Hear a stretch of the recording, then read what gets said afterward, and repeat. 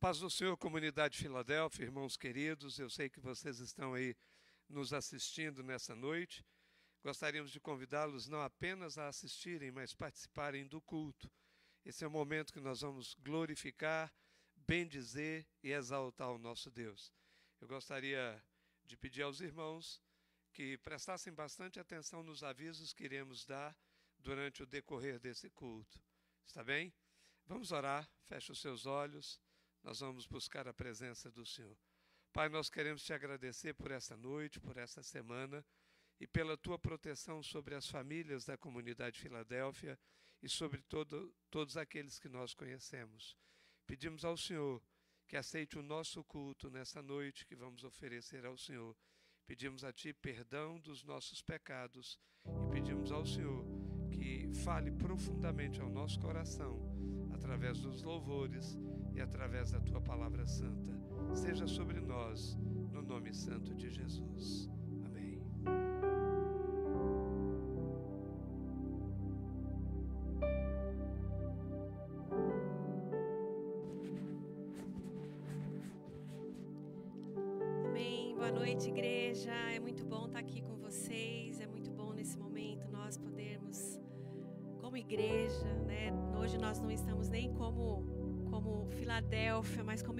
Igreja, porque acreditamos que outras pessoas podem estar assistindo também. Então, desfrute desse momento na presença do Senhor. Que você possa, nesse momento, fazer aí o seu culto na sua família, com os seus filhos, com seu marido, ou se você está sozinho, com a presença do Senhor, do Espírito Santo também. E nós queremos adorar aquele que é único e digno de toda honra e toda glória. Que você nesse momento faça aí a sua oração para que nós possamos nesse momento juntos adorarmos. Amém, queridos? Desfrute.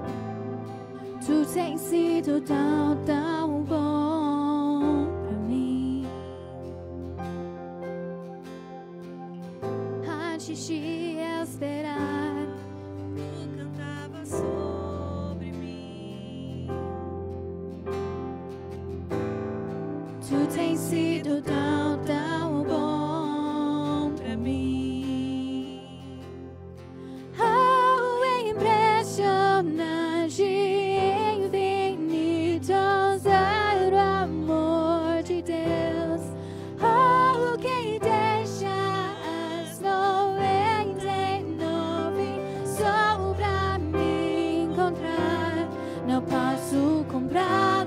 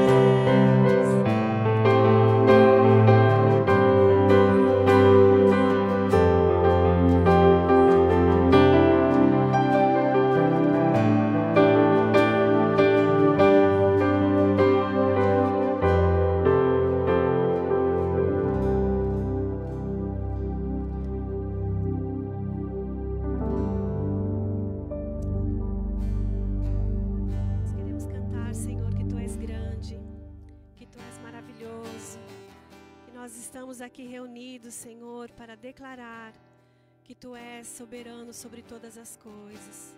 E nós te amamos, Deus. Infinito é esse amor que Tu tens por nós, Senhor. E quão grande é esse amor, Deus. Nós queremos nos quebrantar na Tua presença nesse momento. Nós queremos dizer que nós nos alegramos em Ti, Senhor, independente das circunstâncias, nós temos o Senhor. Muito obrigado, Senhor. Nós queremos louvar o Teu nome nesse momento e dizer, Deus, que nós dependemos de Ti em todos os momentos. Toma, Senhor, o Teu lugar, Deus, nesse momento de adoração. Queremos, junto com todos aqueles que estão nos assistindo, Senhor, oh Deus, exaltar o Teu santo nome e dizer, ó Pai, que Tu és grande, que Tu és maravilhoso, que Tu és bondoso, que Tu és tremendo, Senhor. Aleluia.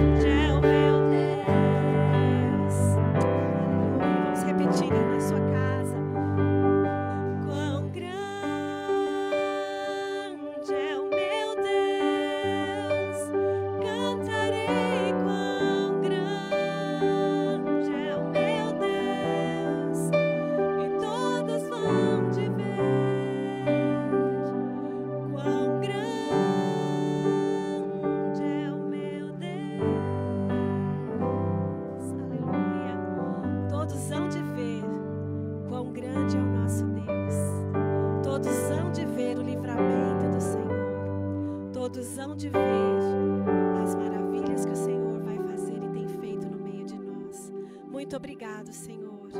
Nós queremos nesse momento que todos aqueles que estão nos assistindo recebam a palavra do Senhor em seus corações e que nós possamos ser abençoados e alimentados em nome de Jesus.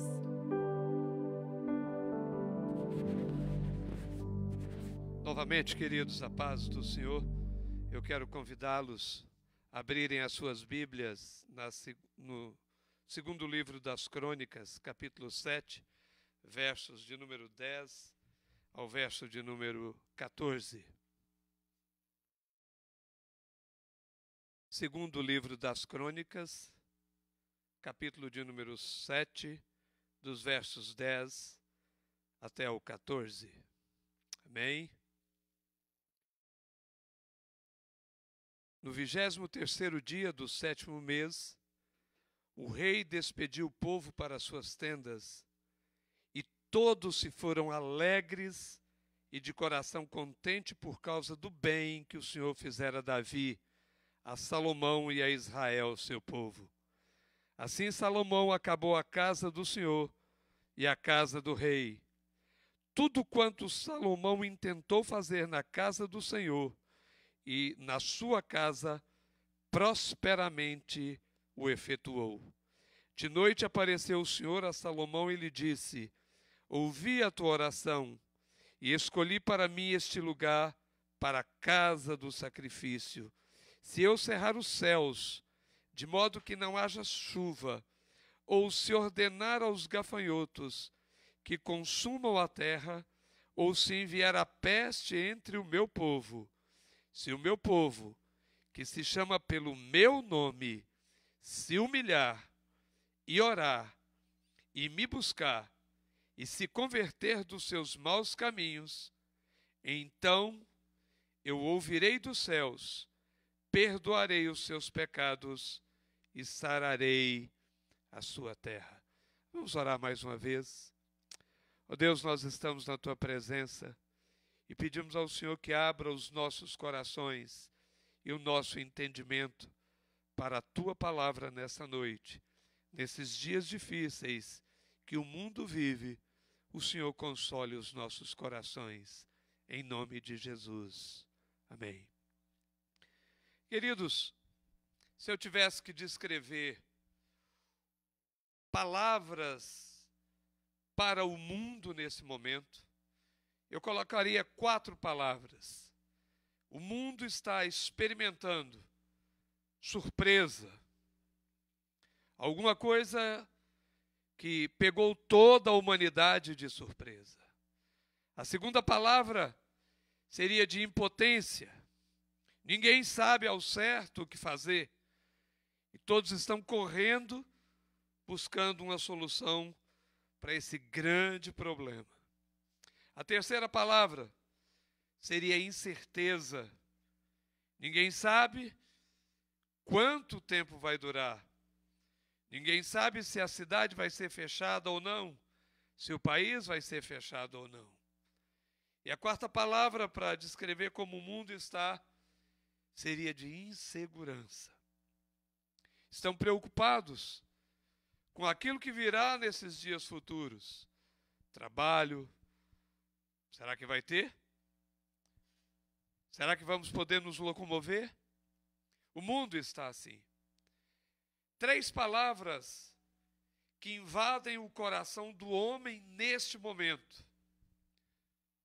medo da morte. É a primeira palavra. A segunda palavra é desespero. Como é que eu vou pagar as minhas contas? Como é que eu vou proteger os meus familiares? Para onde eu vou? Onde eu vou buscar trabalho? Há um desespero no coração das pessoas. A terceira palavra seria inquietação. Parece que há um comichão dentro do ser humano. Ele está dizendo: e agora? O que eu vou fazer? Queridos, pragas não são novidades no anunciado bíblico. nós lendo o relato de, do Pentateuco, nós vemos Deus manifestando-se, enviando várias pragas. Mas nunca o mundo soube tão rápido sobre essas pragas. É a globalização. E seguiu tão de perto o mover de um único vírus. Nenhuma outra pandemia na face da terra teve o poder de parar tantas nações ao redor do mundo como essa pandemia de agora. Eu quero compartilhar um texto nessa noite, rapidamente, de advertência a uma nação que vivia o seu momento mais glorioso. É importante salientar três coisas desse texto que lemos. O povo, como diz no verso 10, estava extremamente alegre. E quando eles acabaram de inaugurar o templo e a casa do rei, eles voltaram para casa com uma alegria muito grande. Assim como estavam alegres muitas companhias no mês de dezembro, muitas nações no mês de dezembro, como os Estados Unidos, com um grande poder econômico, com um crescimento sem igual, sem desemprego. A terceira, a segunda coisa importante do texto que eu gostaria de salientar é que os projetos de Israel iam de vento em polpa. O verso 11 nos diz que prosperamente Salomão efetuou a construção do templo e da casa do rei.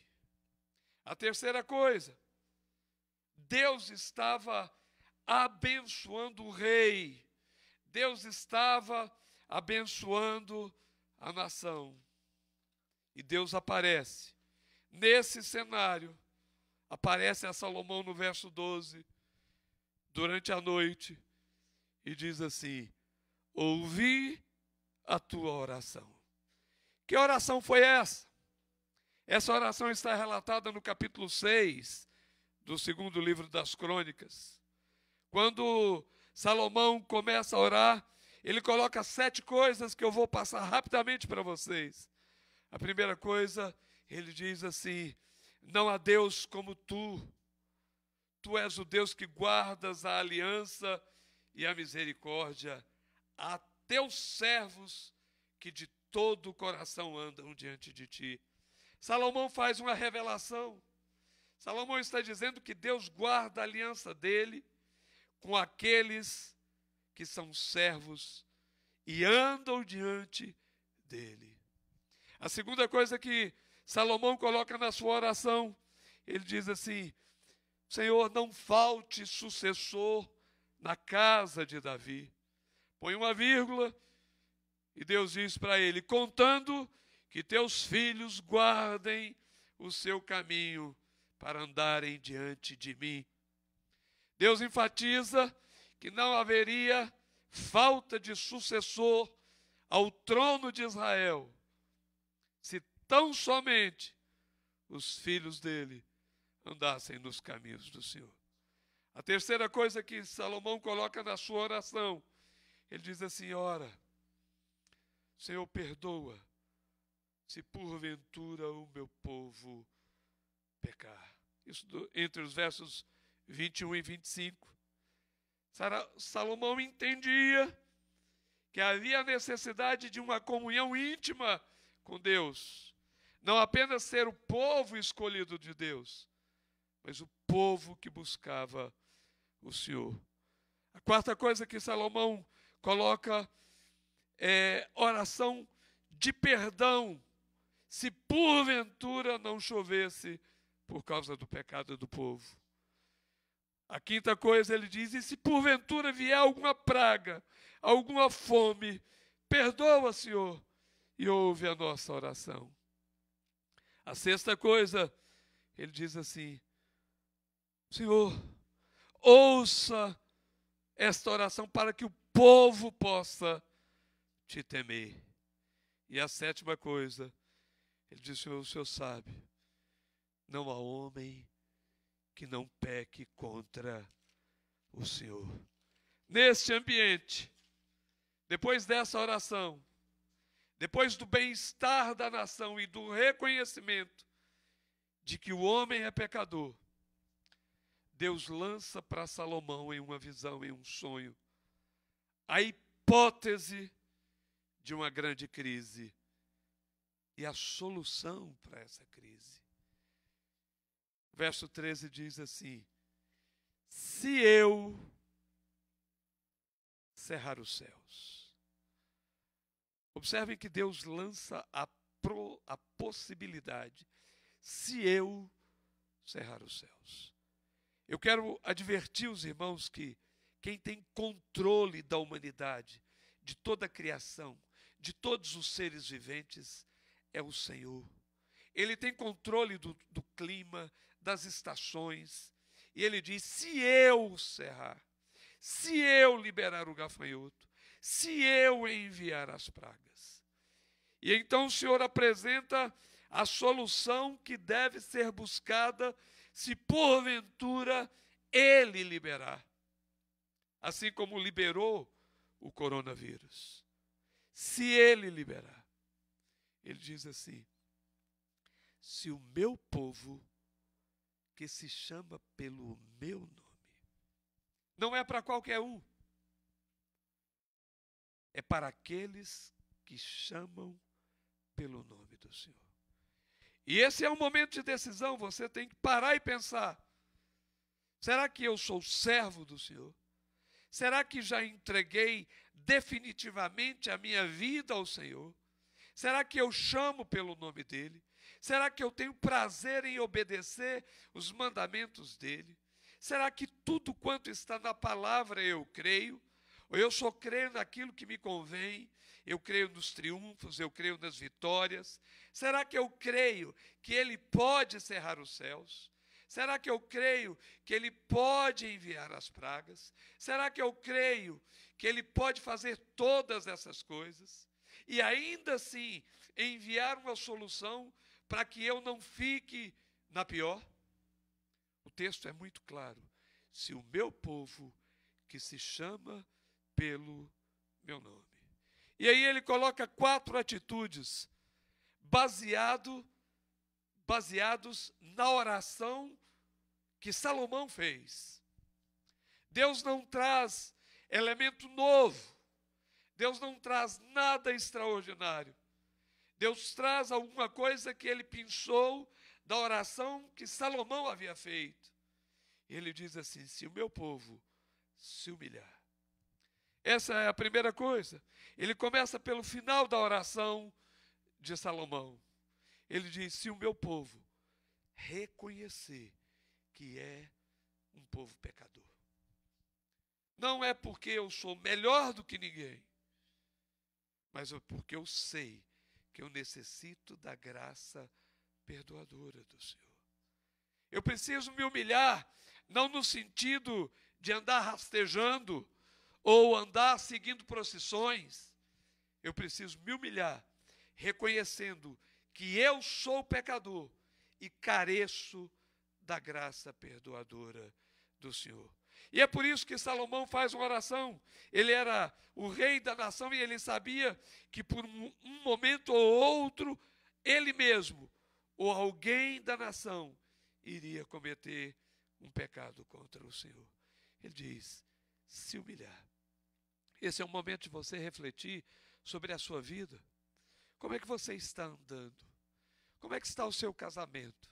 Você reconhece que tem falhado, que é pecador? Os seus olhos estão na sua esposa. A sua vida está na sua família. A fidelidade está na sua casa. A sua fidelidade para com o Senhor em todas as coisas, inclusive nos dízimos. Você tem andado na presença do Senhor em todas essas coisas, reconhecendo que Ele é o Senhor. Se você disser, pastor, eu não tenho andado, esse é o momento para você se lembrar dessa palavra. Se o meu povo, que se chama pelo meu nome, se humilhar. A segunda coisa que o Senhor coloca para Salomão é: se humilhar e orar. É interessante. Deus, ouvindo a oração de Salomão, ele disse: Salomão, eu não quero ouvir só a sua oração, eu quero ouvir a oração do povo. Não basta os pastores da igreja orarem, as mulheres de oração orarem. Se você não tirar tempo para o Senhor, gastar tempo com Ele, separar uma parte do dia, falar: Senhor, fala comigo, eu quero estar na tua presença, eu quero buscar a tua face, direciona a minha vida, me diz como agir, me diz o que fazer. Veja que o Senhor pega a palavra de Salomão, tira da boca de Salomão e diz: Salomão, não basta ser só a sua oração, tem que ser a oração do meu povo. A terceira coisa que o Senhor diz para Salomão é: se o meu povo me buscar. Ah, é interessante que há uma diferença entre orar e buscar. Eu posso orar ao Senhor e não estar buscando a Ele, apenas os favores dEle, os benefícios dEle. O segundo mandamento, interpretado por Jesus, diz: se você buscá-lo com toda a sua alma, seu entendimento, amá-lo com todas as suas forças. Essa busca é o desejo pelo Senhor. Não a síndrome de Adão e Eva, que quando pecaram correram do Senhor. A proposta de Deus é essa: pecou, me busque. Eu é quem posso te perdoar. Ore e me busque. A quarta coisa, desculpe, que o Senhor coloca para Salomão é converter-se dos seus maus caminhos. Traduzindo isso quer dizer arrependimento. É estar disposto a mudar. Como é que tem sido a minha vida até aqui? Antes do coronavírus e agora depois. Será que eu vou ficar só cheio de medo? E quando essa crise passar, porque ela vai passar, eu vou voltar a ser o mesmo homem de antes? Com os mesmos vícios, com os mesmos erros, com a mesma mesquinhez, com a mesma palavra de soberba, com a mesma empáfia? Ou eu vou me converter dos meus maus caminhos? Eu sei aonde eu preciso me converter, aonde eu preciso mudar. Eu sei. Você sabe? Você já avaliou? Já parou para pensar aonde você precisa mudar? Veja que o Senhor diz que depois dessas quatro coisas, o texto diz assim: então ouvirei. Deus está condicionando ouvir a sua oração a essas quatro coisas: humilhar, orar, buscar e se converter. O texto é muito claro. Então eu ouvirei dos céus e, fará, e farei duas coisas. Perdoarei os seus pecados, restabelecerei a minha aliança e a minha misericórdia clamada por Salomão para com o meu povo. Restaurarei, restaurarei o meu relacionamento contigo, restaurarei a minha aliança contigo restaurarei a minha amizade contigo, restaurarei o meu diálogo contigo.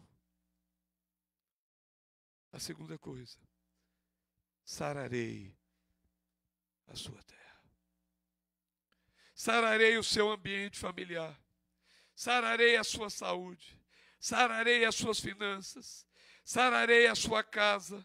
Sararei todas as coisas na sua vida. Como tem sido a sua vida, meu irmão, durante esse período de crise. Você pode ler o capítulo 6 inteiro, depois que esse culto encerrar. E leia também o capítulo de número 7 inteiro. Pare para pensar. Até o início desse mês, a minha vida estava próspera e tranquila. E agora ela virou de cabeça para baixo. O que, que eu vou fazer? O que nós vamos fazer? Qual será a nossa atitude daqui uns dias, quando essa crise passar, quando essa praga for embora? O que nós vamos fazer? Vamos orar. Pai, toma nas tuas mãos a tua igreja na face da terra. Toma nas tuas mãos a comunidade Filadélfia. Toma nas tuas mãos cada família da comunidade Filadélfia. E que a tua palavra poderosa possa nos levar a entender que o Senhor deseja se relacionar conosco, independente das circunstâncias, de momentos bons ou de momentos difíceis. Que possamos nos humilhar, reconhecer, ó Deus, por onde temos andado e nos arrepender e voltarmos a ter comunhão plena e sincera contigo. Clamamos ao Senhor misericórdia e renova com a tua igreja a tua aliança no nome santo de Jesus. Amém. Abençoe a cada irmão que está participando conosco nesse culto. E agora eu quero perguntar ao Vitor, meu amado, sobre o que nós devemos fazer com as nossas contribuições. Alguns irmãos têm me ligado e perguntado, pastor, o que, onde eu entrego o meu dízimo?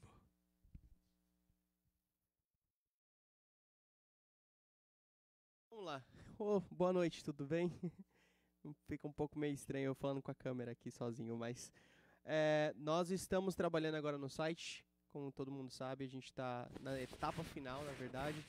Estamos a poucos passos de lançar o aplicativo na loja da Apple e do Android. Então, eu quero ensinar vocês hoje à noite a como é, contribuir com o seu dízimo e oferta. Então, vamos, vamos lá, é muito fácil. É, você vai mandar um text message para o número 888 364 4483. Então você vai mandar esse text para 888 364 4483. Aí você vai falar, Vitor, o que, que eu vou mandar nesse text message? Você vai escrever contribua, somente escrever contribua, e você vai mandar esse text message. Você vai receber de volta um link para você poder se cadastrar, para você poder mandar o link, para você mandar a sua contribuição. Então, de novo, 888 364 4483. Muito fácil, muito intuitivo. Só escrever contribua. Você pode usar sua conta do Google, você pode usar sua conta do Facebook para se cadastrar. Fica muito fácil. Valeu, pastor. Muito bem, muito bem. Então nós queremos agora encerrar o nosso culto, dizer aos irmãos que podem me ligar durante a semana. Eu vou estar fazendo alguns ah, momentos ao vivo com aquele irmão que desejar. Nós vamos entrar no Facebook e conversar, orar. Se você precisar de aconselhamento, me ligue. Nós estamos aqui para estar com os irmãos. Se precisar de alguma ajuda, tiver alguma necessidade, por gentileza, nos, nos ligue. E os pais aproveitem o tempo com as crianças para ensinar a palavra, para brincar com eles, para se divertirem muito nesses dias de família. São coisas que o Senhor está nos permitindo fazer durante esse tempo, gastar tempo com a família. Vamos receber a bênção. Feche os seus olhos.